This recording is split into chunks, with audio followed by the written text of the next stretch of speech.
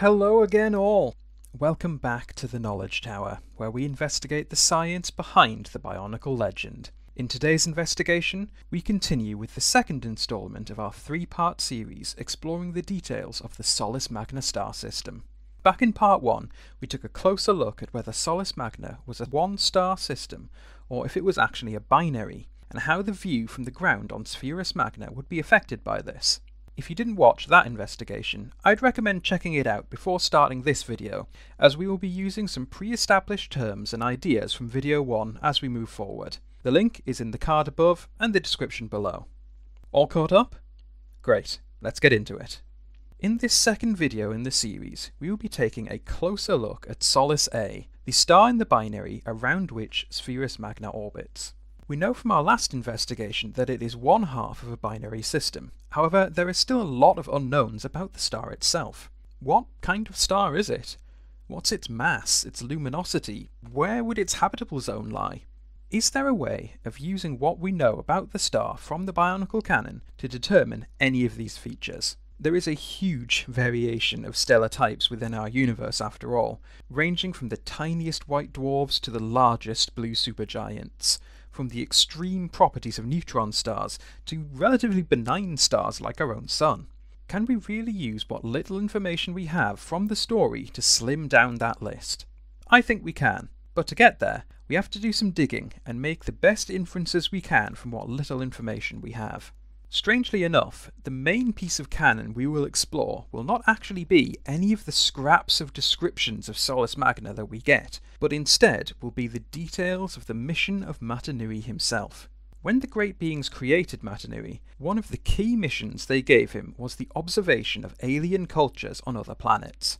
We do not know how many different cultures that Mata Nui observed during his mission. However, given the near 100,000 year timescale over which it occurred, we can assume that even with hundreds or thousands of years of dedicated study for each culture, it would still allow for a large number of worlds to be visited overall. But one key piece of trivia from Greg Farshtey is what really makes this relevant to our investigation and that is that the GSR never actually left the Solis Magna system. Greg has been adamant on this point across several different instances of being asked by the fans. The GSR cannot travel faster than light, and it never left the Solis Magna system in all of those thousands of years.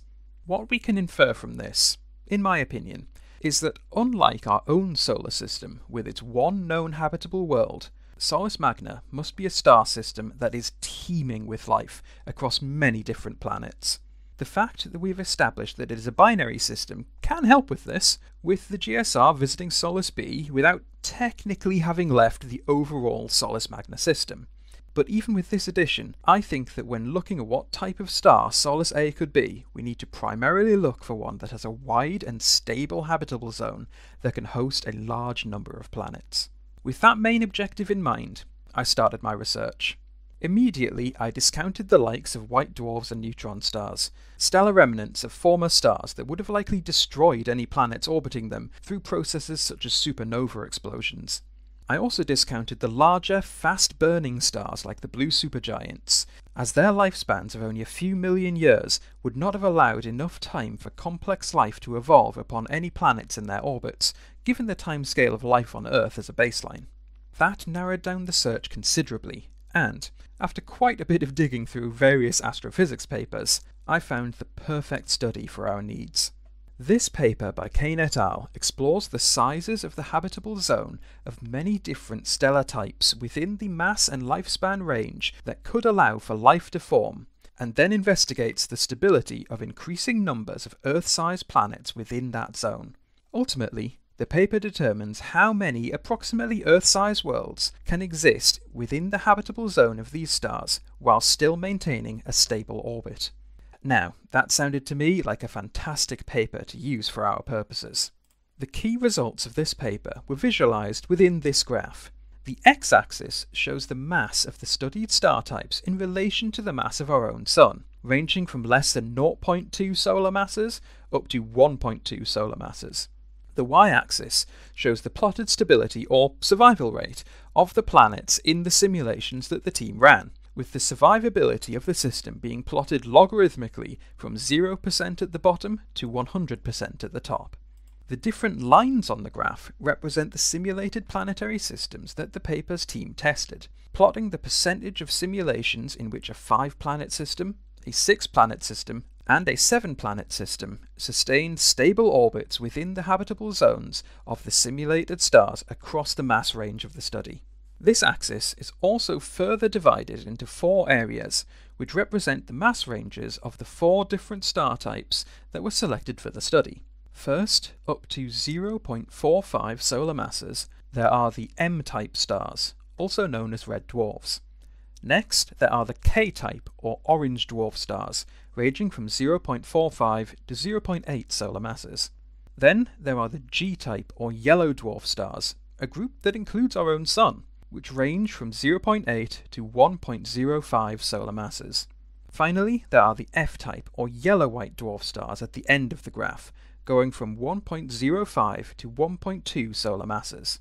The parts of the graph that are of interest to us are the areas where the lines reach up to that 100% stability mark at the top of the y-axis. These areas are where the 5, 6 and 7 planet systems were all stable during the simulations of the study. The line showing the 5 planet systems is the most stable, reaching that 100% mark in the low mass end of the red dwarf section of the graph and remaining there throughout. 6 and 7 planet systems have a lot more variability, though there are islands of stability in three key places on the graph. Two in the orange dwarf mass range here and here, and one in the yellow-white dwarf mass range here. Interestingly, this shows that yellow dwarf stars like our Sun are actually less suited for a larger number of worlds within their habitable zones, with the stability going way down for seven planet systems which I must admit I did not expect coming into this investigation. But we must go with the science. So we will add yellow dwarfs and red dwarfs into our discard pile and take a closer look at the two remaining options, the orange dwarfs and the yellow-white dwarfs.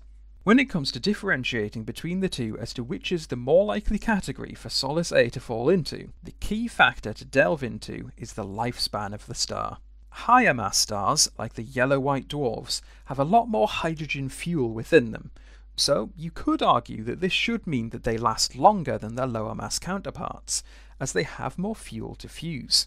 However, the higher pressures in their cores due to all that extra mass also causes them to fuse hydrogen into helium far more quickly than lower mass stars, leading to a shorter lifetime overall. While yellow dwarf stars like our Sun may be in their hydrogen fusing stage for around 10 billion years, yellow-white dwarfs can go through that fuel in as little as 2 billion years. If Solis A were a yellow-white dwarf, this puts a very hard limit on the time in which life had to evolve on the planets within the system.